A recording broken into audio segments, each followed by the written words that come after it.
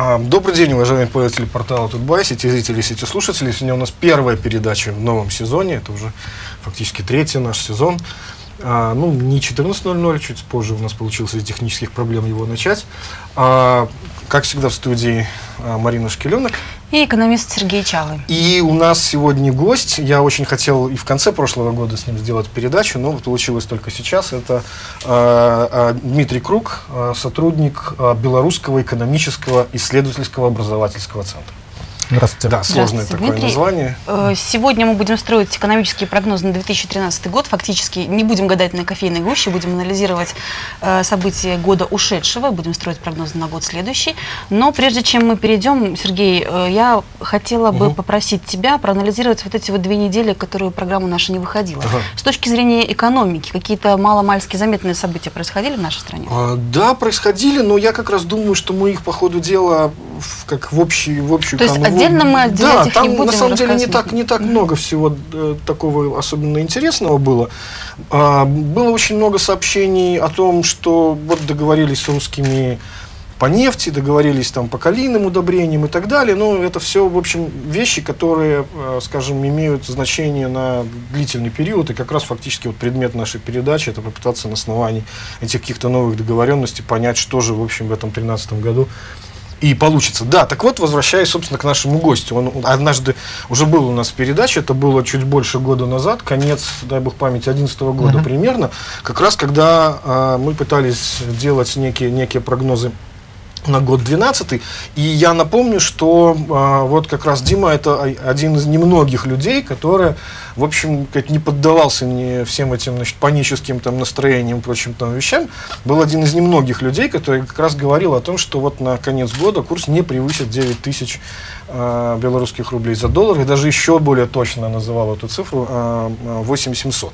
Мгм. Фактически вот тот курс, который, Который который мы фактически вышли и случился. Да, это я к вопросу о том, что вот какого высокого уровня специалиста у нас сейчас в студии. Ну вот. Собственно говоря, а, вот, э, ну, не знаю, насчет курса, может быть, с курса тогда и начнем. А, потому что, а, собственно, и, и ты, я знаю, и я тоже, вот все практически называли в начале еще а, прошлого года а, прогнозный курс на конец прошлого года все-таки выше, чем тот, который сложился. Мгм, Стабильно безусловно. выше 9 тысяч. То есть 9,5 примерно где-то около того это получалось. Ну и даже примерно понятно, откуда это бралось. Это бралось исходя из там, прогнозных темпов там, инфляции, там, э, соответственно, внешней нашей конкурентоспособности. Как же так получилось? Почему он оказался крепче? И вообще, является ли, вот это самый главный вопрос, является ли тот ныне сложившийся курс, он вполне равновесным, и обеспечивает ли он достаточную кон- нашу внешнюю конкурентоспособность? Мгм. Ну, первый вопрос насчет того, почему давались, большинство давали прогнозы там а, 9500 от 9500 до 10 тысяч.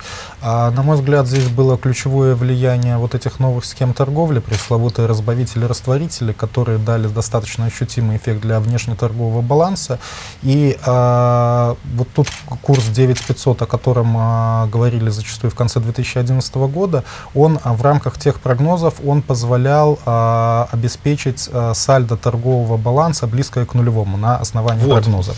И, соответственно, Это уже без учета, конечно, да, без учета растворителей и разбавителей, о которых тогда ну, практически ничего известно Мгм. не было. И это позволяло говорить о том, что такой курс фундаментально прикреп- э, подкреплен э, структурными предпосылками.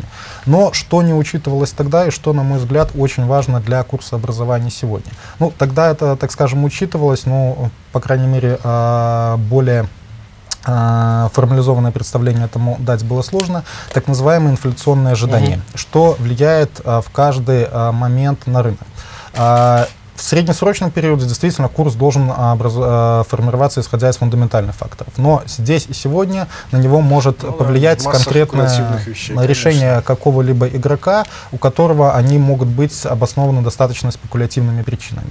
И вот эти инфляционные ожидания, когда много людей ждут ускорения роста цен и девальвации, они влияют на динамику обменного курса.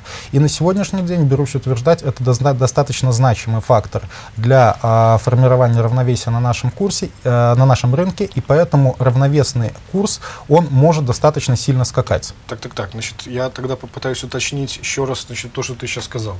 Ам, значит, без с инфляционных ожиданий, без этих, uh-huh. скажем, э, спекулятивных вещей, нынешний курс все равно оказывается крепче, чем должен был бы быть?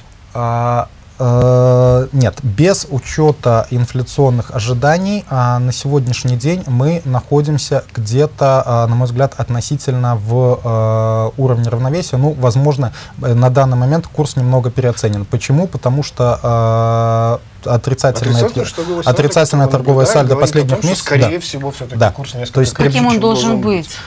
А, ну, по моим, а, так скажем, ощущениям, вот здесь формализовать достаточно сложно, мы можем говорить о а, переоценке процентов на 10-15, то есть в рамках вот этого промежутка.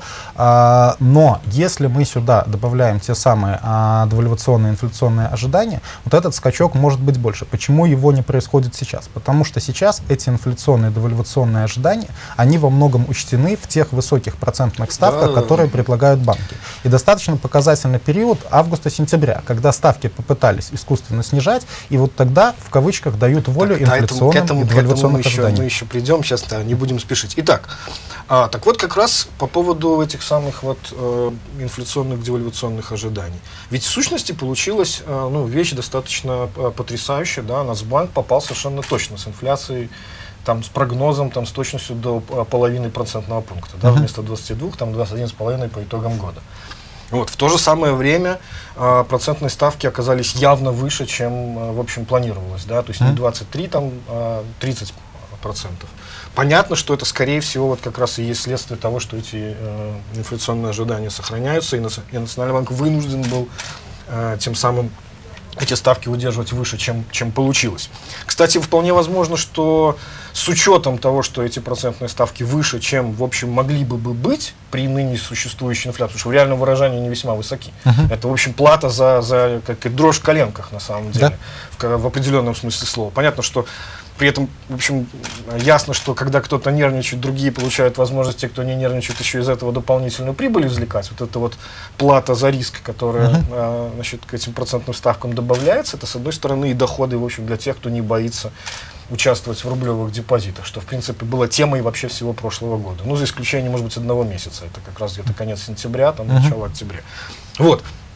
Так вот, интересный момент. Может быть, как раз-таки а, то, что процентные ставки оказались выше, чем прогнозировалось в течение всего прошлого года, тоже сыграло свою роль, в том числе в том, что в итоге курс оказался, в общем, белорусский рубль оказался крепче, чем, чем это ожидалось с точки зрения статистики внешней торговли. Да, безусловно, но э, влияние есть, но все-таки определяющее, я бы сказал, mm-hmm. изначально вот этот э, тренд для курса, он был задан положительным торговым э, сальдо в первом полугодии. Потом, да, уже не позволили высокие процентные ставки негативно повлиять противостоять инфляционным ожиданиям. То есть э, мое объяснение такое. Ну, я просто что имею в виду, что ведь мы же помним, что, в общем, даже у нас какое-то одно время, примерно где-то, ну, до весны, это вот темой было то, что можно даже назвать carry trade, это когда привлеченные uh-huh. высокими процентными ставками, там, 60% фактически начинали прошлый год, а, что-то там порядка 10 триллионов там, в эквиваленте белорусских рублей, вот эта избыточная ликвидность, из которой там большая доля была, в общем, даже, как признавался Национальный банк, иностранных денег, uh-huh. с которыми, в общем, активно они там пытались бороться, в общем, победили, но у нас, как обычно бывает, то понос, то золотуха, значит, с, с избыточной ликвидностью справились, тут же попали в ситуацию там э, недостаточной ликвидности. Вот, это вообще очень забавная такая ситуация. Вот, а, Опять же, я очень жалею, что э, не удалось с тобой сделать итоговую передачу.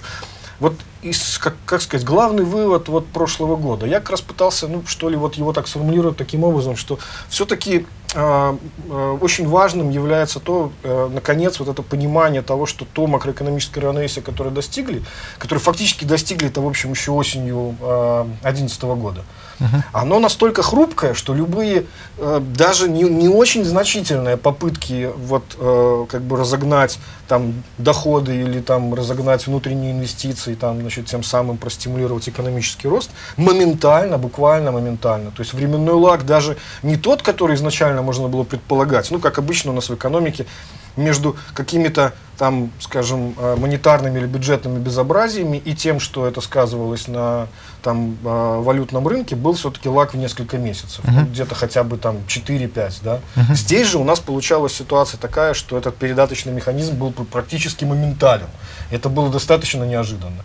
То есть вот э, ситуация ну, вот на моей памяти в прошлом году было минимум два способа, два таких момента хорошо заметных, когда э, была такая попытка, значит, давайте мы это к, э, примерно к, к середине года, когда стало понятно, что темпы роста как-то вот у нас не получаются, не те, которые uh-huh. должны быть по тенденции. И примерно как раз вот сентябрь-октябрь, когда тоже была еще одна попытка, э, второй раз, значит, экономический рост стимулировать.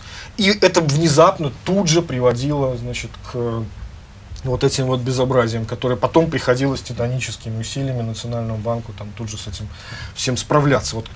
А, и в какой-то степени для меня, в общем, это загадка, почему же у нас а, вот этот период сократился так сильно. Потому что, в принципе, в общем, теоретически, такие вещи бывают в том случае, когда ну, степень вот, а, нервов в экономике очень высока. Чем, он, чем больше вот эта вот дрожь в коленках, о которой uh-huh. мы говорили, тем короче вот этот передаточный механизм, которые... Э, ну, более красиво, э, согласен с этим, более красиво это можно назвать включением так называемых информационных каналов угу. и опять-таки вернуться вот к тем же инфляционным ожиданиям.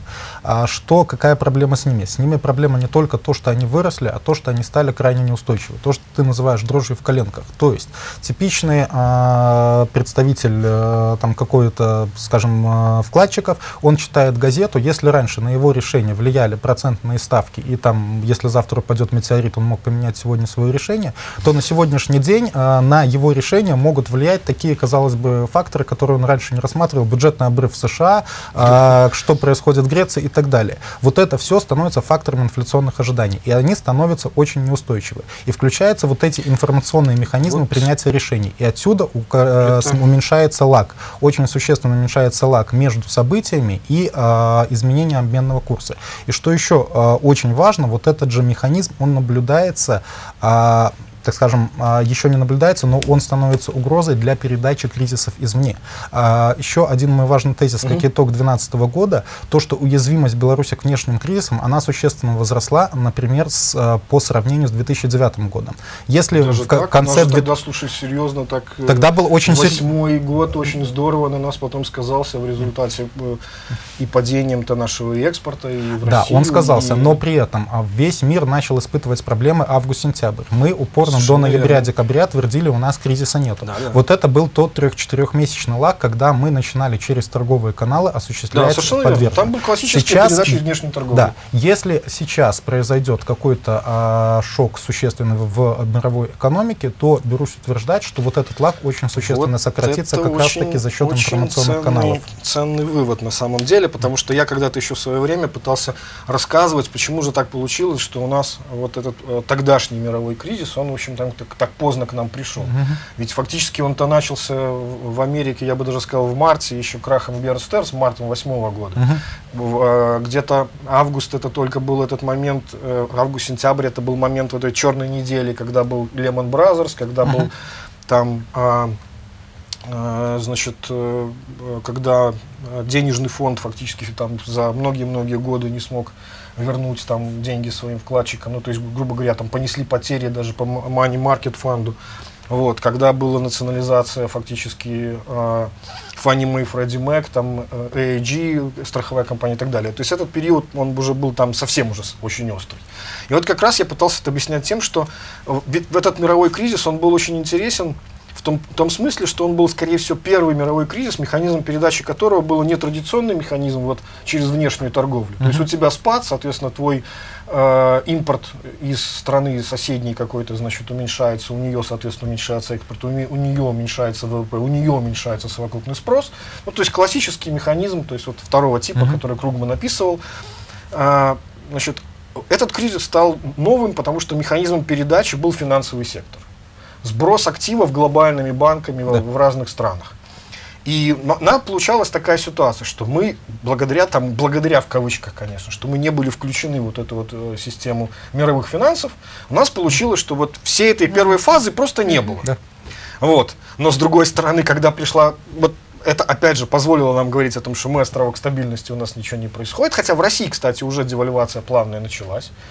Вот, она началась как раз во второй половине, там, не помню, по-моему, осенью. Конец раз, августа, сентябрь. Да, да, второй половине а, восьмого года. И тут же, естественно, мы получили через внешнюю торговлю там минус 20% там, падения нашего экспорта.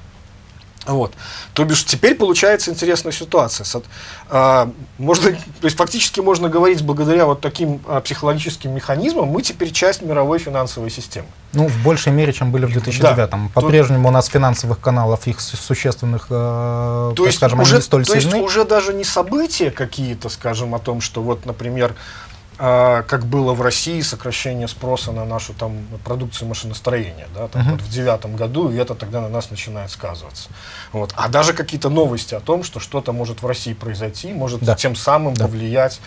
Вот, да. это действительно очень интересный такой э, вывод. Ну, в, в этом смысле, конечно, мы таким противоракетным зигзагом, но стали частью да, мировой э, финансовой системы. И вот этот тезис, кстати, насчет вот, неустойчивых инфляционных ожиданий, да, он, пожалуй, Э, очень удачно ты сформулировал, потому что ведь это фактически то, что не дает э, сколько-нибудь нормально прогнозировать работу самого регулятора и вообще да. не, не очень себе представлять, что делать дальше. Потому что они, ну, видно же было, они весь Сергей, год я надеялись на, на то, что вот мы, поверьте, у нас будет вот так, мы там каждый месяц будем по полпроцентных пункта снижать, там все будет вот все под контролем, все под контролем, и тем не менее я еще возьмусь сказать более такой радикальный тезис, но не то, что совсем радикальный, а то, что а, Нацбанк э, невольным образом оказался своего рода ловушкой для монетарной политики. А, то есть, с одной стороны, мы имеем вот эти неустойчивые и высокие инфляционные ожидания, причем их высокий уровень, это я бы рассматривал как ну, э, неизбежную на данный момент ситуацию. Это не только для Беларуси, это фактически для всех стран. А после а, памяти вот такого резкого скачка инфляции и девальвации, инфляционные ну, ожидания да, не будут существовать да. еще достаточно Это долго. классический пример обжегшись на молоке, дует ну, на воду, да. Да, а, то есть это первая посылка. А вторая посылка, как эти инфляционные и девальвационные ожидания можно ограничить? Значит, нужен какой-то якорь. А якорь в виде инфляции на данный момент, ну, это Получается, тема отдельного разговора, а он не то, что не работает, он как якорь не включен. И а, в полной мере позволить себе использовать этот якорь Нацбанк по целому комплексу причин, и там с частью можно согласиться, с частью можно оспаривать, он не готов. Это тоже можно констатировать. Угу. Поэтому периодически возникает соблазн использовать а, в другой Опять якорь, возвращаться к, тому, к обменному курсу. Совершенно да. верно. И отсюда а, возникает вот это противоречие. То есть, ну и кроме а, еще вто, второй а, механизм, второй инструмент, который Нацбанк пытался задействовать, процентные ставки. Но этих инструментов на фоне высоких инфляционных ожиданий не всегда оказывается достаточно, либо же эти инструменты а, препятствуют а, развитию а, валового, росту ну, да, валового да, внутреннего конечно, продукта. Конечно. И в итоге Нацбанк а, Э, приходят вот к такому противоречию. С одной стороны, мы хотим, чтобы гибкость курса, исходя из фундаментальных предпосылках, ничем не ограничивалась. С другой стороны, мы вынуждены ограничивать гибкость курса угу, и угу, увеличивать угу. процентные ставки. Абсолютно, абсолютно вот в этом точно. противоречии и, и кстати, уйти оно само по себе вспомни, может не быстро. мы ведь как раз даже вот в конце 2011 года говорили о том, что вот этот соблазн постепенного восстановления ну, квазиуправляемого, квазификсированного курса, он очень велик на самом деле, в том числе из-за этих причин. И в каком-то, какой-то степени, ведь даже если мы посмотрим на, ну просто тупо посмотрим на график, там, скажем, нашего э, курса белорусского рубля там, к иностранным валютам, мы увидим, что начиналось как раз все действительно с очень сильной волатильностью, вспомни там 9 и причем, тысяч, и причем Нацбанк ее периодически 700. даже стимулировал да. дополнительно. Где-то, вот, наверное, ноябрь-декабрь они и делали абсолютно правильно, они пытались увеличить колебания. Вот, теперь же мы видим, что фактически он, э, ну, статистика такова, что львиная доля сделок это на белорусской валютно-фондовой бирже с его участием. То есть mm-hmm. он участвует с обоих сторон да. э, постоянно. Опять же, по этому поводу есть много вопросов. Можно ли этот курс считать э, окончательно свободным, значит, или он все-таки как, в какой-то степени э, не свободный. Я бы сказал так, что они, может быть, избыточно волатильность эту уменьшают, но, но по большому счету пока этот курс, в общем, признается в качестве равновесного всеми остальными экономическими агентами. Нет, форма что, формально, да. да, он является равновесным. Единственное, э, почему я говорю, что он угу. сейчас э, причина неравновесия, во-первых, фундаментальные предпосылки и предпосылок для того, чтобы э, улучшить сальдо угу, текущего да, да, счета да. на данный момент их не ну, видно, соответственно, этому, этому, надо да, мы Давайте еще... мы уже пойдем да. дальше. Да? Просто нет, это, на самом деле, это в действительности очень, это на самом деле очень важный момент, потому что э, вот как раз-таки от очень много зависит от того, мы сейчас видим, что э, в действительности, вот продолжая вот, вот эту логику mm-hmm. того, что а, с одной стороны это равновесие настолько хрупкое, что а, получается, в общем, этот вывод делался еще год назад, что теперь никаких, э, собственно говоря, инструментов для искусственного стимулирования э, роста и роста доходов э, нет, ну, тех, которые не приводили бы моментально к, к новым кризисам. Я даже, вот говорю, не ожидал, что этот это будет настолько ясно. И слава богу, кстати говоря, что это так быстро происходит, потому что тогда, по крайней мере, э, как стимул реакции возникает у наших экономических властей все-таки понимание, что вот из-за чего все-таки mm-hmm. вот эти вопросы, эти проблемы происходят. И в этом смысле как раз для прогноза на, на вот нынешний год очень важно понять, какими инструментами обладают э, наши власти для того, чтобы эту ситуацию управлять раз, а с другой стороны при, э, при этом э, мы снова фактически еще в гораздо более э, преувеличенном, что ли, э, таком виде находимся в ситуации начала прошлого года, когда снова заданы абсолютно противоречащие друг другу задачи.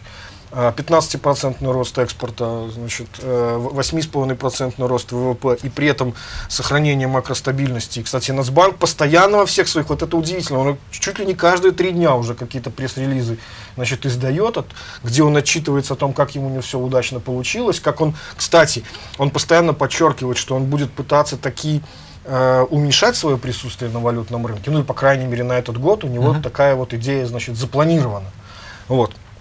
Но в действительности получается, что вот э, как бы мы тогда больше года назад были правы, что соблазн к тому, чтобы качестве номинального якоря снова использовался. Э, ну, так скажем, неформально. Да, да, да, совершенно верно. Это, это просто получилось само, потому что другого, грубо говоря, вот не, не сработало. Так вот, э, возвращаясь, собственно, к тому, что у нас банка получается, что у нас банка не получается. В настоящий момент мы видим, что вот если можно график э, процентных ставок на межбанковском рынке, там такой он очень интересный, он будет как раз примерно с августа по нынешнюю дату к сожалению, даты не очень хорошо видны. Это конец августа, начало графика. И вот нынешние примерно 37-38%, а пик это какие есть, месяцы? есть сейчас. Это как раз сентябрь и октябрь. Uh-huh. То есть вот, причем очень четко видно, насколько просто ну, невероятная волатильность между примерно вот этими самыми волшебными 20 и 50 процентными пунктами, которые в сущности понятно даже откуда они берутся. Одна это а, процентная ставка изъятия ликвидности, другая предоставление ликвидности. Uh-huh. То есть получалось а, вот какая вещь. Насбанк весь прошлый год причем поначалу он даже, в общем, считал, что наконец он там всех победил, там спекулянтов победил, значит, это вот первая половина года. Потом внезапно наступает сентябрь, э, октябрь, и начинается вот такой вот разброс. Да? Причем, что интересно, что э, то есть задача-то, в общем, Насбанка понятна. У него есть главный инструмент, все-таки это ставка рефинансирования мы видели из этого графика, что там этой ставки рефинансирования не видно вообще. А проблема а, достаточно проста, потому что в августе-сентябре кредиты, которые резко начали выдавать, вот это были два пиковых месяца, это в основном были директивные кредиты, которые со ставкой рефинансирования ну, были как-то, возможно, механистически связаны, то есть там одна, вторая или подставку рефинансирования. Uh-huh. Но они не были, а, цена этих кредитов, процентная ставка устанавливалась не рыночным образом. И вот за счет этого разрушилась связь между ставкой рефинансирования uh-huh. Национального банка и ставкой на межбанковском рынке. То есть свободные ресурсы банков, а, прежде всего госбанков, их в августе и сентябре а, целенаправленно выдали а, ряду угу. предприятий, которые также были определены правительством там, или правительственными агентствами. И вот это корень проблемы, который мы получили. Соответственно, ну и тут же они начали, э, то есть всем, собственно говоря, нет покупателями ресурсов практически все да. время, да, но другое дело, что когда э, эти скачки идут до, до 50 там, процентов,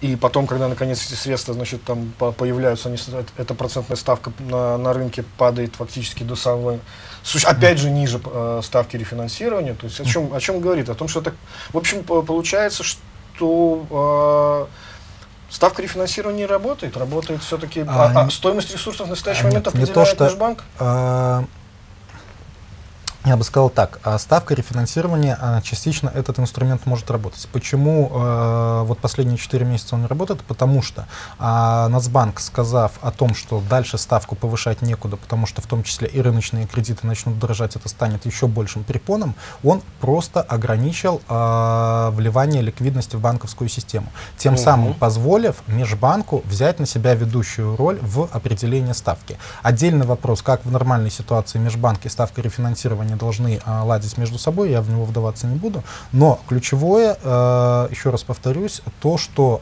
первично та ликвидность, которой обладали госбанки, она была влита директивным Мгм. образом. А дальше уже Нацбанк, не захотев э, поднимать ставку дальше абсолютно для всех сегментов, он дал э, установление ставки на откуп межбанка. Ну и в итоге получилось так, что фактически вот эти вот колебания с, там, с периодичностью там, в 4 недели, с там, завидным постоянством, там, от 20 до 50 процентов, там, дезориентировало, в общем, все равно всех, на самом деле. Да, и вот здесь, а, здесь мы вновь еще возвращаемся к этим неустойчивым инфляционным ожиданиям, а, которые здесь такой замкнутый круг э, классический получается. А, если они у меня неустойчивы и ставки начинают прыгать, а, то, соответственно, это еще больше провоцирует неустойчивость, и дальше все развивается как снежный ком. Ну, мы-то знаем, что после этого все-таки Национальный банк, там все-таки некоторое сглаживание это видно было на Да. графике под конец. То есть он несколько э, определенных шагов предпринял и, в общем, может быть, даже, скажем так, вполне успешных для того, чтобы с, вот с такой жуткой волатильностью справиться. Ну, первое, это решение было, мы его комментировали, это было решение о том, чтобы а, валютные значит, м, значит, к- к- средства, предоста- кредиты предоставляются исключительно только на обслуживание Да. внешнеэкономической Мгм. деятельности. Понятно, для чего это сделано, для того, чтобы очистить этот спрос на валюту значит, э, от вот, составляющей, когда пот- потом через эти валютные кредиты фактически они превращались в финансирование рублевых проектов. Да. С этим, в общем, э, мера такая, прямо скажем, не самая ну, что ли, хорошо выглядящая, но, Но по крайней мере, мы можем понимать, какая логика за ней кроется, и в этом есть какой-то смысл. А, второй момент, это, опять же, а, передача активов, ну, формально плохих активов или которые могут стать плохими активами с балансов э, коммерческих банков, как раз вот этих самых директивных кредитов на Мгм. баланс банка развития, о котором тоже необходимо поговорить, потому что это очень важный инструмент от того, как он будет работать или не будет он работать, очень сильно зависит от того, что будет э, в 2013 году. То бишь, фактически тем самым, а, с одной стороны, в общем, их б- балансы-то поправили, потому что, ну, так или иначе, а, с- с- значит, спрос на ресурсы у них должен был уменьшиться. Вот. Ну и последнее, это с 22 декабря, если мне не изменяет память, больше года прошло, когда Национальный банк снова вернулся к предоставлению ликвидности в виде ломбардных э, аукционов. То бишь, причем по процентной ставке 35 процентных пунктов. Вот, что как, э, довольно сильно, в общем, отличается от этой самой верхней ставки, которую он использовал все время э, предоставления вот, денег дорогих, да, Мгм. 50-процентной вот этой процентной ставки. И мы видим, что спрос там, в общем, довольно неплохой по этим 35% пунктам. И, в принципе, даже там переподписка идет постоянно. Вот. Другое дело, что все равно процентные ставки э, на межбанке не равны вот этой самой ставке 35. Вообще, вот это решение о возвращении практики э, предоставления ликвидности по, по ставке 35 и сохранения 20 и 50, это вот э, как, какой смысл несет? Это все-таки это все-таки признание того, что э, без того, чтобы помимо вот этих двух, что ли, э, конверта, да, между 20 и 50, э, какая-то попытка внутри задать все-таки некий ориентир, сколько с точки зрения Нацбанка ресурсы должны на межбанке стоить. Скорее всего, да. То есть в мировой практике э, основной ставкой мы можем называть ставку, по которой фактически вот это, проводятся да, операции. да. То есть основные Потому операции что у нас-то ставка рефинансирования. в общем, она имеет Ну, такой весьма счетную... Да, это своя, своеобразная Да. величина, Да, да, которая, под которой напрямую редко проводятся операции. То есть с этой позиции, да, можно сказать, что Нацбанк пытается задавать а, уровень процентной ставки, ту, которую он видит, а вот этот огромный коридор, который сохраняется. На мой взгляд, Это это, на всякий случай. это на всякий случай, это признание Нацбанком неустойчивости Да. ситуации. И вот эта ставка 35, она будет работать, если банки не будут а, директивными инструментами принуждать кредитовать Мгм, под мгм, нерыночные мгм, ставки. мгм. То есть банк, получив по 35, и если ему говорят отдай под 20%, а, вот эту же ликвидность, а дальше он для того, чтобы выполнять остальные проекты, он будет выходить вынужден на межбанк. И опять у нас Мгм. будет идти искажение ставок. Ну что ж, посмотрим, э, насколько, в общем, у... То есть, иными словами, можно говорить, что у нас все-таки в настоящий момент процентная ставка, ну, что ли, основная, это 35 процентных пунктов.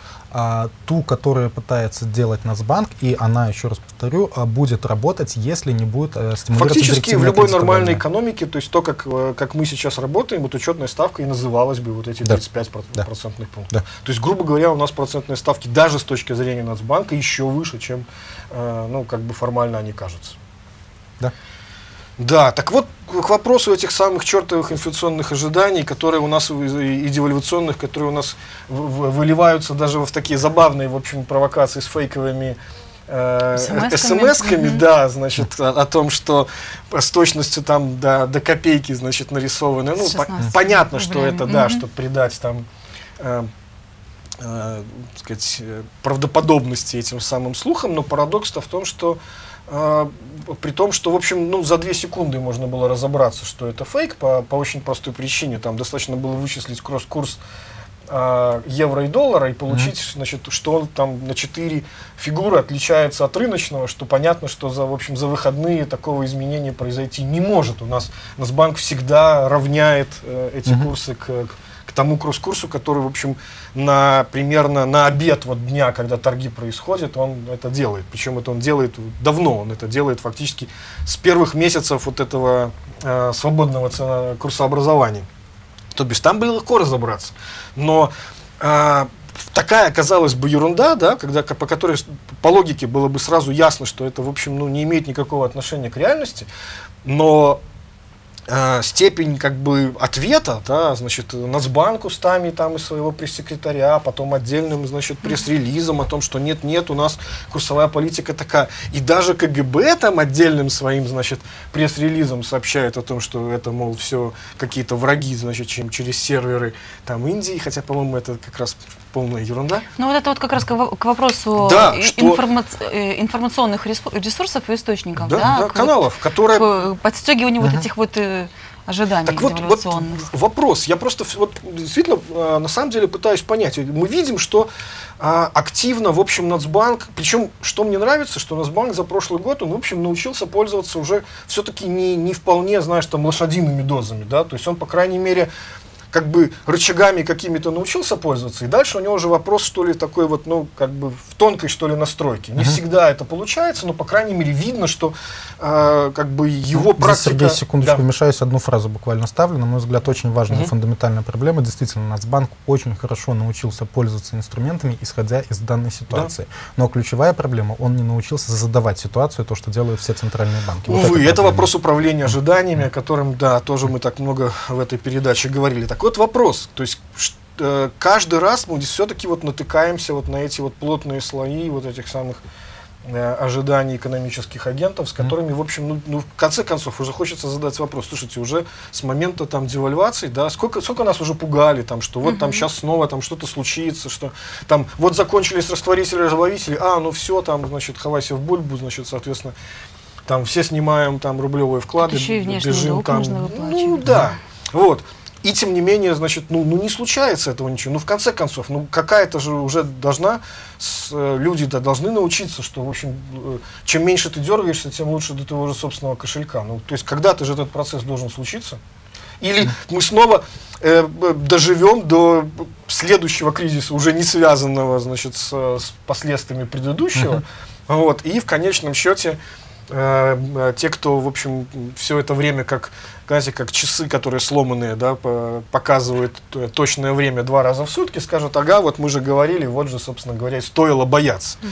То есть вообще шансы на то, чтобы победить вот этот, э, ну, степень такой недоверия, ведь делаем уже все, что угодно, но процентные ставки такие, что, ну, просто, ну, кажется уже ну, давно всем должно было, в общем, быть uh-huh. понятно, что ну, ну, тут как бы не, незачем следить за этими плюс-минус 60 э, рублей там на белорусской валютно-фондовой бирже. Нет, все равно это чуть ли не в ежедневном режиме всех интересует. То есть, что еще нужно сделать для того, чтобы, наконец, э, в общем, такого рода, ну, это сопротивление сбить? Это вообще реально, на самом деле? Абсолютно реально, на мой взгляд. Здесь... Или это просто вопрос времени? А, первая составляющая действительно вопрос времени. Есть такая очень знаменитая фраза Фредерика Мишкина, что он говорит, что не существует легких способов а, борьбы с инфляционными ожиданиями, и в любом случае а, потери в выпуске, они ну, будут да. платой за эти инфляционные ожидания достаточно продолжительный период. Вопрос, сколько, он для каждой страны решается угу. по-разному и зависит от достаточно специфических факторов. Вторая составляющая, вот то, что уже зависит от монетарных властей, то, что я сказал, что Нацбанк, на мой взгляд, не в полной мере научился создавать ситуацию, какая бы ему хотелось, которая для него была бы благоприятнее, стоит в том, что надо задать новый якорь, который бы э, дисциплинировал, э, привязывал бы эти ожидания. Не ориентироваться на существующие, а самому создавать. А что может стать таким якорем? А, инфляция, безусловно, Изначально, инфляция. да, с самого и начала в этом же- случае надо побороть один а, очень специфический белорусский механизм финансовой долларизации, что при любом шоке мы бежим менять белорусские Да, рубли да, на да, доллары. Это победить а, достаточно легко, опять-таки 60% введя инфляцию в качестве а, безусловного единственного якоря и стимулируя гибкость обменного курса. То есть если вы знаете, что цены при любом раскладе вырастут, там, скажем, не более чем на 10%, а курс может пойти вверх как на, э, и вниз на на 10% в любую сторону, это стимул держать деньги в белорусских рублях. Это делается достаточно легко, и много стран этому пример. Даже в таких ситуациях, как у нас, в Латинской Америке ситуация с долларизацией во многих странах была еще хуже, и там эту проблему решали. Ну да, насколько я помню, по-моему, даже за твоим пером была такая а, работа, как раз посвященная переходу было. к инфляционному таргетированию для Национального банка. Да. Там целый такой... а, вот по сути, об этом же, в общем, речь и идет. Проблема-то наша как раз в том, что у нас национальной денежной единицей все-таки по-прежнему не является рубль. Психологически им по-прежнему является Доллар. условно эта самая единица. Ну вот. И как раз-таки действительно, то есть, но опять, что нужно для того, чтобы вот это э, как бы в головах значит, сломалось вот это представление о том, что все цены надо пересчитывать, да, это, ну, опять-таки, это, в общем, тот же самый возврат. С одной стороны, это хорошее э, управление инфляцией, с одной стороны, а с другой стороны, это увеличение э, волатильности по курсу. Без этого Да. тоже никак не, не, не справиться. С другой стороны, увеличение волатильности по курсу в ситуации высоких девальвационных ожиданий чревато самоподдерживающейся паникой в виде Вот «Ай, это- увидели рост там на 100 рублей в один день, второй и третий», и там, Вот эта проблема, а, да, с, с этим можно, я говорю, что это уже технические проблемы, как переходить и когда Мгм. переходить, это можно обсуждать, это можно спорить. Но здесь надо стратегическое решение, что это надо делать и а, Ну, четко мне кажется, что здесь другого, в общем-то, выбора нет, потому что дальше у нас остается только возврат к номинальному якорю, к фиксированному курсу, Мгм. который позволит нам даже, может быть, какое-то время протянуть, и мы снова получим затем ступенчатую девальвацию, потому но мы что- на одни и те же грабли будем по-прежнему наступать. Потому что то, что есть сейчас, это называю чаще всего политика без ярко выраженного номинального Мгм. якоря. То есть, э, ну, если совсем таким простым языком, что хочу, то ворочу. Да. То есть, как рынок повернется, то я и сделаю. Но вот эта политика, она наиболее негативно скажется на ожиданиях. То есть, вы не знаете, что Нацбанк будет делать завтра. С чего мы и начали передачу. Мгм. А Сергей сказал, что неопределенность достаточно высока. Что будет делать экономические власти в Нацбанк в частности, для широкой публики Абсолютно непонятно. Точно, абсолютно точно. И вот как раз таки, вот на удивление, казалось бы, вот мы прожили все-таки уже больше года без кризиса, да, ну, по крайней мере, то есть много себя пугали там, да, значит, кричали волки, волки, волки никак, значит, не, не появлялись, вот, казалось бы, по логике, да, то есть некая ну, с, э, возможность прогнозирования там, событий 2013 года должна быть ну, боль- больше, да, соответственно, там неопределенность должна быть меньше. Мы примерно себе представляем, как наши власти вели себя в каких-то типических ситуациях, что они выбирают, э, что сознательной вполне политикой было э, забить на этот самый с- экономический рост, да, Мгм. там э, в конечном счете, может быть, выступить там даже в роли камиказа, там правительству сказать о том, что, ну, как бы лучше мы сохраним, так сказать, не будем рукотворный кризис оч- очередной, значит, себе создавать, но, по крайней мере, а, значит, э, в общем, бог с ним, с этим экономическим ростом, главное, чтобы хуже только не было. Вот. Но мы же видим, что на этот год ситуация еще хуже. То есть еще больше разброс между этими целями, раз. И если бы только это. Плюс мы входим вот как раз, э, значит, возвращаясь к, к политике Нацбанка, возвращаемся в ситуации, в принципе, во многом искусственно созданной вот этой излишней волатильности по процентным ставкам на а, межбанке. Может быть, это сейчас сокращается, но черт его знает, посмотреть надо, по крайней мере, в двух этих месяцев недостаточно, чтобы такой вывод сделать. А дальше, дальше начинаются совсем интересные вещи, потому что если, например, э, скажем, э, ну, какие-то внешние, скажем, ограничители, да, не только наша э, внутренняя политика, то есть э, конъюнктура на внешних рынках. По крайней мере, на прошлый год у нас четко было понятно, о каких договоренностей в нефтегазовой там, да, сфере мы там с Россией имели. Все, все понятно. Ладно, по нефти, то, по газу тоже на этот год все ясно, но с нефтью же мы практически не знаем, о чем идет речь. Пока у нас есть договоренности, вот о которых как раз э, отрапортовали, что значит вот эти 23 миллиона тонн, ну, поскольку у нас заводы, в общем, за это время сказать, промодернизированы, они способны перерабатывать чуть больше, чем ну, раньше они примерно по 10-10,5 могли делать, сейчас больше э, переработки э, нефти. Значит, вроде как по тенденции мы получаем эти объемы, но фактически, в общем, трубопроводным транспортом все равно те же самые объемы, которые были в прошлом году. Плюс с учетом того, что поставки железнодорожным транспортом, они явно дороже. А плюс, когда от нас еще требуют 3 миллиона тонн обратной поставки светлых нефтепродуктов на российский рынок, что, в общем, ну, скорее всего, придется исполнять, потому что иначе без этого в России весь план перехода на Евро-3, он летит, потому что у них там собственные нефтеперерабатывающие заводы не способны, ну, не оказались, в общем, в, той ситуации э, достаточной для того, чтобы это, это сделать. Что, в принципе, говорит о том, что там эти поставки будут близки к нулевой рентабельности, либо там, может быть, слабая положительная рентабельность, может быть, даже отрицательная. По дизелю так она точно будет отрицательная рентабельность.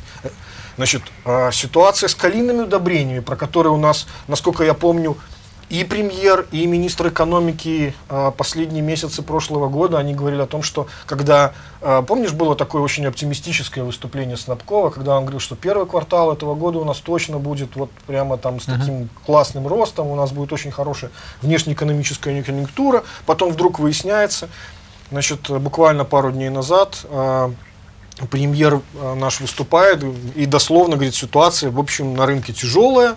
И, в общем, мы это видим по итогам года, что минус 20% в физическом исчислении калийные удобрения упали. Ценовая, в общем, ситуация, там, похоже, ничего добиться, никакого серьезного повышения пока не получается. Складские запасы высоки, плюс еще какие-то негодяи иностранные, значит, там демпингом занимаются, да, там, вот, не хочет вести нормальную а, картельную политику. Вот, то бишь там тоже не очень понятно, откуда это может взяться. Большие надежды на какие-то какой-то рост экспорта по продовольствию, он уже, в общем, натыкается на возражение э, российского Минсельхозпрода, когда у нас там от двух с половиной до шести раз вот эти балансы, которые были согласованы по отдельным позициям, были превзойдены. Вот. И там, в общем, как бы сейчас пойдет спор относительно деления квот импортных, в частности по свинине, которые мы там нашей и переработанной э, забили там Россию, они сейчас очень этим недовольны. А фокус-то в чем? Что, скажем, э, свинину и птицу там, в принципе, довольно быстро они могут закрыть свои потребности. Ну, там большие деньги не нужны, и, в принципе, это же довольно а, легкий цикл производства. Понятно, что там по говядине и, соответственно, по молоку так быстро это не получится. Но в любом случае там потенциал роста не очень велик. То же самое с нашей продукцией машиностроения. Вот. И, в общем, не очень понятно, за счет чего. То есть, ну, мне кажется, что ни для кого уже не секрет, что никакого положительного сальда в обозримом будущем внешнеторгового у нас не будет. Не, ну это достаточно очевидно. Еще э, ты прошелся вот по товарным группам, я бы сказал еще очень важную общую тенденцию, реально эффективный курс, то есть если да, говоря да, более да. простыми словами, а показатель, характеризующий ценовую конкурентоспособность э, экспортеров, он у нас будет находиться, ну как минимум, не лучше, чем в среднем по, по тому году. То есть цены у нас да, растут большими верно. темпами, чем а, номинально обменный курс. Скорее всего, эта ситуация ну, будет Или переводя на, как это, на пальцах это mm. то же самое объясняет, это говорит о том, что в действительности мы теряем выгоду выгоды от девальвации, которые были раньше по по потеряны. Плюс вот э, все то, о чем говорилось по товарным группам, да, э, дефицит э, даже по товарам он будет. Я не скажу, что он будет э, очень ощутимый, угу. это уже зависит от конкретных договоренностей, но предпосылок ожидать э, профицита по торговле товарами у нас нету. Плюс, э, возможно, при очень хорошей ситуации можно говорить, что дефицит по товарам будет перекрыт дефицитом по услугам, пускай даже так, но в рамках текущего счета у нас э, новая ситуация предопределяет, что у нас очень большой отток по первичным ну, и вторичным это, доходам, да, да, те же пошлины угу, на нефть и доходы от инвестиций. Трансфер и, э, соответственно, в таком случае мы э, получаем достаточно ощутимый внешний дефицит при любом раскладе по 2013 году. Да, и сюда же добавляем мы ситуацию еще необходимости финансирования обязательств на 3 миллиарда долларов в этом году, угу. вот, из которых там в бюджете есть только что-то порядка 800 миллионов долларов, насколько я знаю, бюджетных угу. средств, остальное там они планируют добирать, это антикри... транш антикризисного фонда Евразес и размещение еврооблигаций? Нет, на... ну, в смету бюджета эти погашения, они угу. внесены, но в качестве источника, то есть не хотят расставаться со всеми валютными депозитами, ну, да, да, они планируют, что значительная часть этого долга будет рефинансирована. Вот, и вот получается довольно интересная ситуация. С одной стороны, мы, скорее всего, увидим ухудшение э, потоков поступления валюты и оттока ее, да, плюс еще а, вот этот вот значит, финансирование, собственно, своего внешнего долга. И при этом, то есть, казалось бы, наша внешняя платежеспособность должна, в общем, как бы оцениваться несколько слабее, чем в прошлом году. Но а, существует очень интересный парадокс. Вот еще один график, если можно. А, график а, наших евробандов. Там сначала чуть более длинный график есть, там, который затрагивает и 11 Значит, и 12 год. Вот у нас дно, это 20 какое-то там примерно число сентября, вот когда мы ниже даже 70 центов за доллар торговались, а зато, а зато, обратите внимание, вот около сотни мы несколько раз, да, вот в номинал тыкались примерно где-то с, с середины, ну вот с июля-августа прошлого года, около 100. И последние, и будьте добры, еще график более короткий, а, вот-вот-вот. Четко видно, что вот с ноября-декабря, ну, практически какой-то вот уход в стратосферу. А, фокус в том, что там при нынешней стоимости, где-то 105 с небольшим, а, текущая доходность, она уже получается меньше даже 7%. Это uh-huh. Вчера я смотрел 6,78 было uh-huh. по котировкам. То есть вот как так получается, что внешний рынок оценивает нашу э, значит, э, платежеспособность лучше, при том, что фундаментально ситуация, ну, казалось бы, хуже? Ну, такого единого ответа, который бы дал комплексную картину на этот вопрос, у меня нету. Самая простая догадка, которая у меня напрашивается, что внешний рынок, он э, реагирует с достаточно большим запозданием. На что, ну, Беларусь, угу. так скажем, не большой э, эмитент э, ценных бумаг, и в основном это достаточно ограниченный круг ну, инвесторов. Согласен, согласись, но тогда, если так, если э, это так, то тогда это означает, что нам прямо сейчас нужно выходить на, на рынки да, да, внешних да, займов, потому да. что потом может получиться, что мы еще плюс там 1-2 а, процентных пункта к этому делу можем получить, когда станет ясно, что Вполне ситуация, вероятно. в общем, не, не, не, не так хороша. Это, кстати, намек нашим этим самым Минфину, который, в общем, роуд-шоу уже в Азии провел, в Европе, я не знаю, по-моему, они пытались, только еще не делали его, да? Нет, еще не было. Вот. Соответственно, а, как бы пора и, кстати, по, по источникам финансирования 4,5 миллиарда долларов прямых иностранных инвестиций, в общем, тоже понятно, что, скорее всего, ниоткуда не возьмется. Ну, если будет только какая-то большая приватизационная сделка, вот здесь мне нравится, один из коллег изобрел давно такой термин stop and go privatization. Да, а, да, То да, есть, да, если нет других а, средств для покрытия кассового дефицита, тогда проводится приватизация. По этой схеме можно назвать и приватизацию Велкома, Белтрансгаза и так далее. То есть, ну, пока у нас а, только так и было. Это да. единственный сценарий, как я могу представить получение этих 4,5 вот миллиардов. буквально позавчерашняя значит, а, новость из э, Госкомитета по имуществу. Значит, у них же такие план на 2,5 миллиарда долларов приватизации на этот год никуда не делся. Потому что это входит в состав вот этих самых 4,5 миллиардов прямых иностранных инвестиций, которые нужно получить. Ну и плюс это, в общем, те самые а, приватизации, которые, в общем, мы не исполнили еще даже по прошлому году, чтобы получить. Кстати, транш же так еще не пришел уже еще, да? По-моему, поступил. По... Евразес? Да. По-моему, поступил. По-моему, они говорили, что где-то в январе он только должен да. был быть. Ну, да? ну вот, вот потому что там тоже какая-то такая достаточно мутная ситуация. Решение это принято, а деньги вроде как на счетах еще не видели. Так вот, что интересно. А, вот достаточно просто процитировать слова а, представителя ГКИ. Значит, готовится список. Однако это очень сложная работа с учетом приоритетного поручения президента о недопущении массовой приватизации. Дальше. Значит, э, когда уже начинают задавать вопрос, а что же это будут, э, ну, могут быть за предприятия, ответ такой, конкретики в подготовке данного перечня нет, поскольку выполнение решения правительства возможно лишь в случае продажи высоколиквидных предприятий. С другой стороны, решение возможности приватизации таких предприятий принимает непосредственно президент страны, который как раз, в общем, в начале 2012 года и говорила о отказе от этих самых приватизационных списков. То есть по факту мы видим, что в общем риторика тогдашняя, которая была о том, что значит, мол, мы отказываемся от этих списков, потому что не ограничивают нашу приватизацию только этими списками, а мы можем приватизировать все что угодно.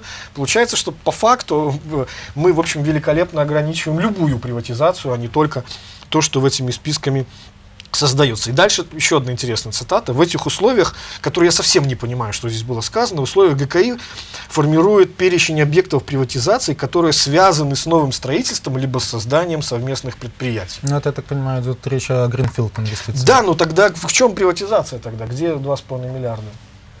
То есть это, в общем, как бы совсем не, не приватизация. Ну, это не приватизация, это, наверное, уже э, идет просто привлечение прямых иностранных инвестиций. Есть... Вот, с другой стороны, мы уже знаем, что эти самые 2,5 миллиарда долларов очень легко получить, достаточно повести там IPO 10% там. А, Беларусь Кали, и все, пожалуйста. Да, И вопрос то, что я говорю, что одна приватизационная года. крупная сделка, и эти средства Да, и по, по находятся. всей видимости что-то подобное в этом году, наверное, и состоится. Я, честно говоря, думал, что в конце прошлого года что-то такое случится, ну просто чтобы успеть в эти самые 2,5 миллиарда, но вот Ну, здесь я не совсем соглашусь. Э, Если действительно не будет других источников финансирования, вот э, рефинансировать старый долг, э, финансировать дефицит текущего счета этого года, да, приватизация тогда вероятно. Но при прочих равных условиях, я думаю, она все-таки будет тормозиться. Она Ну, уж много естественно, мы структурных понимаем прекрасно, что это самый последний в данном Да. случае наш э, как бы ресурс. Ам, еще две такие темы очень важные. Ну, первая, я не знаю, наверное, самая такая короткая будет по поводу вот э, этой самой нашей э, волшебной, э, как ее, мобилизационной модернизации, поголовной модернизации, как ее еще называют. Вот. То есть теперь-то уже совершенно очевидно, что а, как бы наши экономические власти понимают под э, этой самой модернизацией исключительно только а, технологическую модернизацию. То есть закупка новых линий, никакого там станков и, в общем, ни- ни- никакие изменений. Мгм. Не то, что там экономических отношений, там среды какой-нибудь, тем более там никаких отношений собственности, ничего, и ничего больше. То есть это вот, как я пытался проводить такую аналогию, это вот аналог 80-х годов ускорения социально-экономического развития. Как не меняя системы, значит, заставить эту самую э, как бы э, стареющую клячу вот ехать э, быстрее, да, вот пришпорить ее тем или иным способом. Причем, что интересно, вот недавнее было совещание, э, выступление э, премьера э, Мясниковича, где он как раз сказал о том, что вот у нас 13 год, это год, в, в течение которого мы должны максимально вот закупить, значит, эти вот самые но- э, новые оборудования. Вот, и как, э, ну, как бы самый главный вопрос, это вообще э, как бы поможет на самом-то деле? Частично может помочь, я здесь не столь скептичен. Ну, э, первое, с, с общим посылом я, безусловно, согласен, что просто технической модернизации ее недостаточно. А В первую очередь должна а, меняться конкурентная среда, и тогда рынок определит, кто больше всего нуждается в технической да. модернизации, и тогда она будет проведена эффективно. Но, а, на мой взгляд, последнее решение, вот тот же пресловутый декрет о деревообрабатывающей промышленности, а, какой сигнал доводится, как я его понимаю, Мгм. что действительно мы будем а, совершать административную точечную модернизацию, но при этом, чтобы те стимулы, которые вроде бы должны теряться, будут а, стимулы, исходя из хорошей конкурентной среды, поскольку Мгм. у нас их нет, мы будем достигать эффективности такой а, модернизации методом кнута. И вот этот пример, который был а, на деревообрабатывающей промышленности, на мой взгляд, это альтернатива а, стимулам конкурентной среды, Мгм. когда, конкурируя за заемные средства, вы выбираете, какой лучший проект, какой проект получит финансирование и так далее. То есть в данном случае а, вот этот механизм, как Ну, э, Это стимулировать модернизация в определенном модернизацию. смысле напоминает индустриализацию сталинских времен. Вот я хотел привести одну фразу, ее часто Льву Троцкому приписывают, не знаю, говорил ли он в действительности, он говорил, почему военный коммунизм победит все остальное, потому что винтовка, приставленная к виску, гораздо лучше стимул, чем какая-либо прибыль. Ну, посмотрим. Мы, по факту иногда да, но насколько долго этот а, процесс... Ведь мы же помним, в общем, чем и закончилось и э, ускорение социально-экономического развития в советское время. Как раз-таки, в общем, э, львиная доля этих ресурсов была попросту потрачена неэффективно, и в конечном счете это еще сильнее подорвало, в общем, как бы экономическое здоровье Советского Союза. И вполне возможно, что нечто подобное у нас может произойти, потому что огромное количество же примеров, которые вот прямо сейчас становятся известны, хотя, в общем, это, они уже давно тянутся, Мгм. когда огромное количество самых классных закупленных иностранных линий используются таким образом, что они приносят только убытки вместо прибыли. Как с тем же самым Светлогорским э, Ну, вот потому я и Э, говорю, что здесь нужны картонный стимулы, больше похожие на сталинскую индустриализацию, как заставить их силой работать э, с большей эффективностью. Ну что ж, это в общем логично, и так в таком случае мы э, там скажем, ведь это совсем другая политэкономика. Да. И понятно, что в общем для такого э, как как бы для такой экономики, в общем, и чиновников-то столько не нужно, как бы откуда ясно, откуда берется, в общем, эти планы по сокращению э, госаппарата на этих самых там 25%. Причем, правда, там тоже не очень понятно, э, работала, работала комиссия, значит, да, нашла, каким образом эти 25% э, сократить. Давайте порежем, значит, на корню два министерства.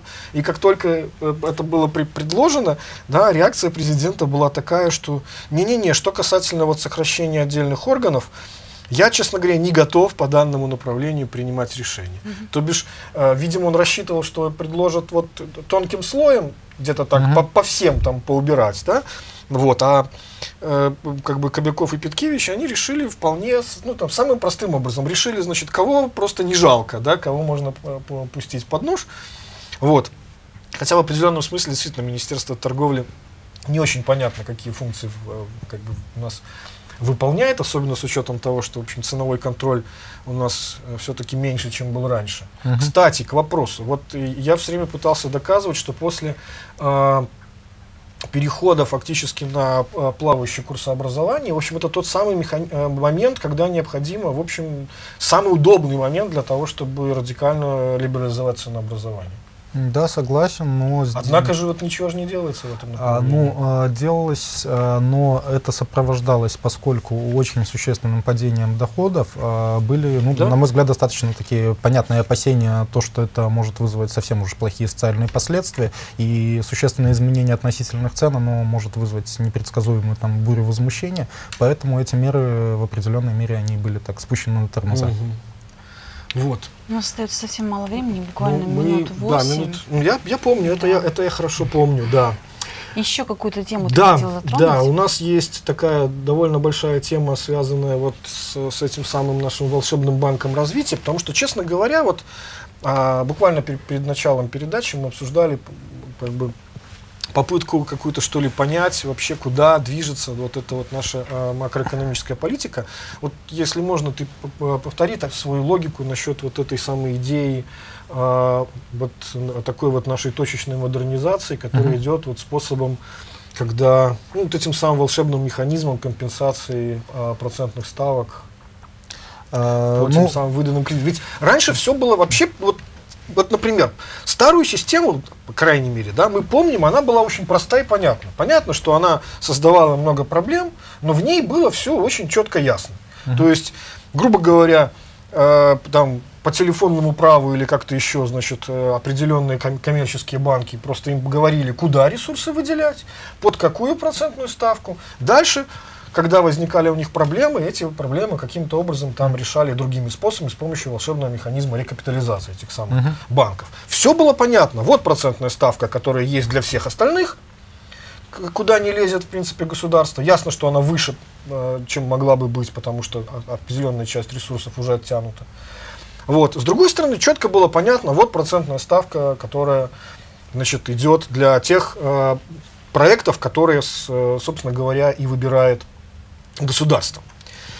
Сейчас же этот механизм усложнили настолько, что я сам, в общем, не очень до конца могу понять, как, как он будет дальше работать. Uh-huh. Потому что по логике э, идея это была какая? Давайте мы все заберем, значит, все эти вот э, эти самые директивные кредиты в одно учреждение, которое фактически, ну, банк развития, там, раньше предполагалось, что это будет агентство развития, то бишь в качестве агентства вообще было понятно, что это такое. Агентство правительства, которое в рамках совершенно бюджетных, ну, или в широком смысле государственных денег занимается только вот э, тем, чем раньше занимались, за, тем раньше заставляли заниматься самые коммерческие банки. Но зачем же так усложняется э, процедура, когда фактически получается, мы снова э, значит, возвращаемся к старой практике, а может быть даже еще и в худшем смысле. Почему? Потому что а, ведь главным, в общем, а, проблемой вот а, старой экономики это было вот то, что мы, кстати, много раз об этом говорили, да, двухчастная экономика с разной совершенно uh-huh. бюджетной и денежно-кредитной политикой для разных секторов. Вот. А, Самым главным вызовом, как мне казалось, 2012 года, это был вызов того, смогут ли наши предприятия научиться работать в единых э, правилах игры. То бишь, вот она единая для всех процентная ставка, э, ресурсы кредитные возвратные, платные там, и так далее, пожалуйста. Вот, и тогда станет ясно, наконец, кто же более-менее рентабелен, кто, uh-huh. кто нет. Вместо этого мы начинаем изобретать э, значит, не менее сложный способ, когда вот банк развития, по логике, он же там имеет э, возможность еще и привлекать ресурсы, как что, что, кстати говоря, у агентства не имелось бы такой возможности. Uh-huh. Вот вокруг чего, собственно говоря, скорее всего и была битва с МВФ, чтобы он был банком. То бишь, ну у него-то деньги стоят э, как бы одну величину, да? затем вроде бы как он, как обычный коммерческий банк, должен находить какие-то инвестиционные проекты, которые он будет потом значит, финансировать, но потом снова мы видим, что там включается механизм компенсации процентной ставки из бюджета. Зачем это делать, если это все государственные деньги? Почему нельзя с самого начала процентную ставку сделать? Э, зачем вот это усложнение? Ну, мое понимание, сразу говорю, что механизм, даже тот, который прописан на бумаге, для меня сейчас непонятно, воплощается ли он угу. на практике, как происходит а, сейчас работа Банка развития. Ну, у меня пока целостного понимания не сложилось. Вот но э, ключевая идея э, какая проблема была директивных кредитов вот в их традиционном понимании. Когда а, правительство говорит, что какое-то конкретное предприятие должно было получить кредит, это предприятие фактически воспринимало а, получение кредита как а, устойчивую дотацию, ренту, да, да, дотацию, и оно могло на него рассчитывать. Поэтому стимулов воплощать эффективно какой-то инвестиционный проект практически не было. Угу. И отсюда шли достаточно существенные потери в эффективности. Даже если бы потенциально это предприятие в состоянии было реализовать проект, если оно знает, что за завтра я получу дополнительные деньги, а если я этот проект по-прежнему буду реализовывать, то стимулов эффективно ре реализовывать нету. Кроме того, для таких предприятий создавалась куча дополнительных предпосылок, а, да. что стимулировался их спрос, гарантировался да, спрос да, да, на да, внутреннем да. рынке и тому подобное. У них не было стимулов к развитию. Нынешняя схема, зачем делать это а, в качестве банка и а, вдавать а, кредит на рыночных условиях, а затем компенсировать, как раз-таки пытались, а, как мне представляется, сделать, а, снизить потери в эффективности. То есть банк на рыночных условиях отбирает проект, но потом, чтобы этот проект создавал положительные внешние... А потом деньги выделяются не на рыночных условиях. А, да, а потом деньги не выделяются не на рыночных условиях для того, чтобы стимулировать какие-то внешние эффекты во всей экономике. Ну, это может работать только в том случае, если будут убираться все остальные подпорки, о которых ты только что а, говорил. Нет, это может работать, если государство действительно в состоянии отобрать такой инвестиционный проект, который имеет внешний эффект. Что я имею в виду под внешними эффектами? Допустим, даем нефтеперерабатывающему я заводу, и он за счет этого удешевляет я нефтепродукты для всех э, предприятий. Угу. Вот если государство в состоянии эффективно определить получателей ресурсов, то это может вот работать. Мне нравится, что здесь ты произносишь слово «государство определить», потому mm. что по логике ведь предполагалось, что все это будет делать Банк развития. Он находит э, такого заемщика uh-huh. с таким проектом, который может принести эту пользу. И потом вроде как перед правительством ходатайствует о том, чтобы э, ему ну, помогли. Кон- да. Ну, конечно, решение принимает государство. То есть э, я имею в виду... Так вот тут как раз многое будет зависеть от того, будет ли все-таки здесь львиная доля решения э, самого Банка развития, либо в конечном счете государство снова будет назначать кому ну, что, скорее всего, не это, будет, это, потому что они привыкли так Это очень важный фактор. Вот. С банком развития, подчеркиваю, Витя, в общем, даже таким по, по ясным головам, как вот Диме, не очень понятно, как он будет работать. Это самый большой вот такой ив, если вот на, на этот год, на самом деле, потому что в сущности, если не справиться с этой э, ситуации финансирования госпрограмм, мы вечно будем находиться в этой ситуации постоянного продуцирования, uh-huh. напряжения, ну, не будем говорить слово кризис, напряжения на валютном и, и финансовом рынке. И вот снова я говорю, вот чем, чем можно закончить? Да, получается парадоксальная история. С одной стороны, вроде как, больше года прожили без кризиса, да, вроде как действительно чему-то научились, в то же самое время вступаем в Новый год, в ситуации, когда определенность еще меньше, чем была там год назад когда не ясно ни что Нацбанк будет делать, потому что Нацбанк в последнее время действительно очень реактивно себя вел, а не проактивно.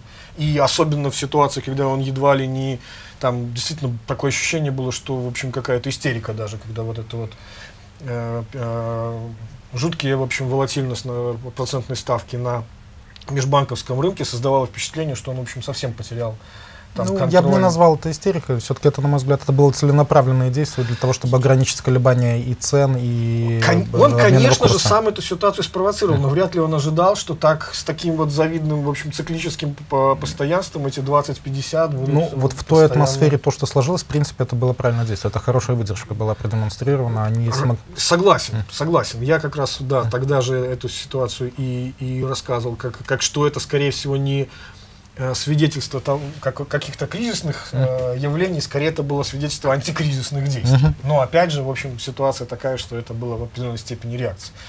А, что можно сказать?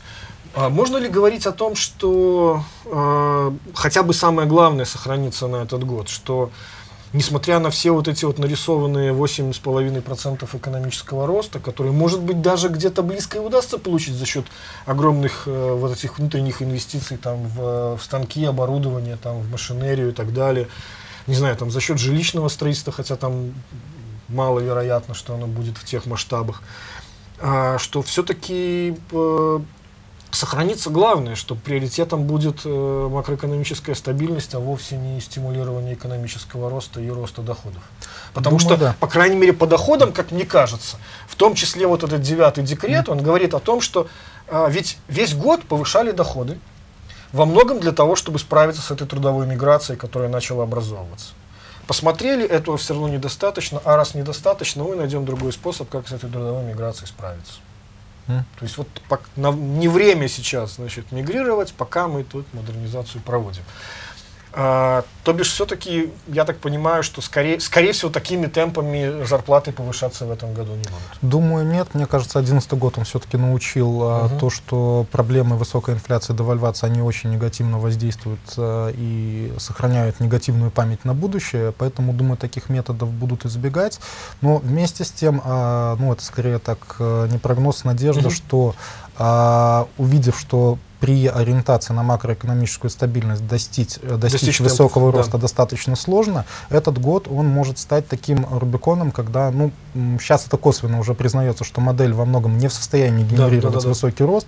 На мой взгляд, э, в конце 2013 года, возможно, будет более открыто признано то, что э, исчерпала себя модель. Не правительство плохое, а то, что экономика не в состоянии генерировать Я, такие темпы я, роста. честно говоря, надеялся, что это будет результатом 2012 года. Потому что, в общем-то, В какой-то степени да. Э, переза- мере, переза- перезапуск, модерни- перезапуск Да. модернизация это косвенное признание. то, что подтверждение говорю, да. того, что не- нет, так- нет источников экономического Да. роста в тех рамках, которые в настоящий момент существуют. А, Я предлагаю уже закончить на сегодня. Да? мы, мы- мы как раз и заканчиваем. То есть, по- по продолжим крайней- на да, следующей, да, следующей программе. Ну и последний, самый главный вопрос. Можно ли вообще хоть что-то прогнозировать дальше первой половины года? Имеет ли смысл говорить о каких-то целевых показателях на конец года по инфляции, процентным ставкам, там, не говоря уже даже о курсе? Думаю, можно, но при многих если. То есть здесь какие-то сценарные подходы, они могут работать. Однозначно говорить, особенно вот финансовые номинальные показатели, процентную ставку, инфляцию сложно. В реальном секторе это попроще. Ну вот, собственно, главный вывод, о котором идет речь, что на самом деле горизонт планирования, несмотря на то, что мы прожили год бескризисно, он только э, сократился, а не э, расширился. Вот. Ну и что, с курсом хотя бы на примерно полгода? Э, ну, если... Сумеют все-таки его до- довести до более, э, без паники довести до более, скажем, Думаю, да. э, И если с ним достаточно аккуратно обращаться, я не думаю, что э, даже вот те проблемы, они примут необратимый характер. Поэтому я думаю, что в течение года вот такая постепенная девальвация а, до уровня, а, до конца года 1010, то есть вот плавно она То есть будет эти весьма 10 самых нормальной. 15%. Где-то так. Что было бы, в общем, а внутренняя инфляция, которая за это время произойдет, куда девать? Э, Курс реально, да, будет э, более дорогим, то есть это проблема, ее надо решать, но ее надо решать э, больше структурными методами. Ну вот, собственно говоря, основной вывод, что как бы по крайней мере в финансовой сфере хоть что-то можно, да, хоть да. что-то, но опять же это только по большому счету из наших желаний. И вот действительно самым интересным в этом году перенесение того, что должно было бы случиться в прошлом, это, ну, для всех-то, в общем, это понятно, осталось так, что только чтобы это было понятно на самом верху, о том, что, в общем, действительно а, противоречие между бескризисным значит, ростом и желаемыми темпами, оно в общем, никуда не девается. Вот. Другое дело, что это, э, как сказать, это осознание может быть отложено как раз вот этой вот поголовной модернизацией, Мгм. надеждой на то, что она хоть что-то принесет, а это может растянуться опять же на весь Да. 2013 год и только ухудшить э, в дальнейшем эту ситуацию. Согласен. Ну, в общем, какой-то Ну что, безрадостный да, пока безрадостный немножко пока по- по- вывод, но тем не получается. менее да. посмотрим, что Ну у нас хотя бы, произойдет. хотя бы некий фреймворк э, мы, мы, я думаю, что набросали, в общем, относительно того, что в этом году будет происходить. Вот. Спасибо, Дмитрий, за Спасибо за приглашение. Да, очень всегда рад тебя слышать, потому что вот как раз тот самый случай, когда особого, как ни странно, большого не, не получается э, спора, ну, нави- по всей видимости, для меня это тоже важно, это некое подтверждение того, что и я, наверное, в общем, тоже не, не совсем глупости говорю. Ам, Значит, спасибо за то, что а, были с нами в, в нашем новом уже третьем сезоне.